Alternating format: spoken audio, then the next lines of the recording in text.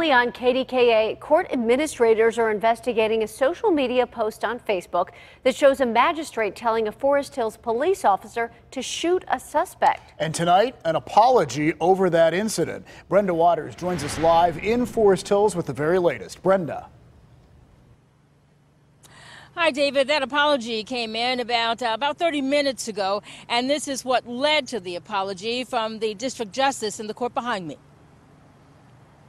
George Justice, aka Bounty Hunter, posted on Facebook the video you're about to see. Sources tell us George Justice is well known to police in Forest Hills and apparently had been asked to leave the court of magistrate George Caulfield several times.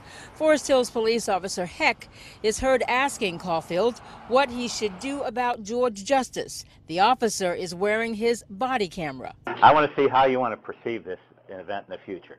See, in my in my world, you know, if you're in a private residence, it's easy. You'll convey that he's to leave. He's not welcome here. He's not here in business.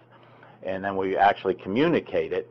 And in, Then it usually doesn't happen, but it usually starts to move into that defiant thing, you know, Right. defiant section of criminal trespass. That's how I perceive it when it starts to become like this foolishness. Mm-hmm. So I don't know how you think of it here.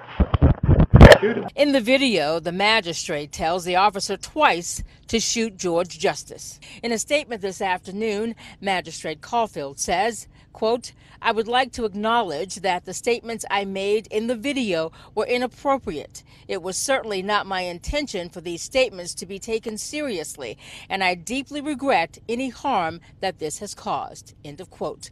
I'm told Justice was able to gain access to the officer's body cam video through the district attorney's office. Now, although the district uh, offices are over, they over, they're overseen by the Allegheny County courts, but the courts do not discipline any of the magistrates. That is done by the Judiciary Disciplinary Board.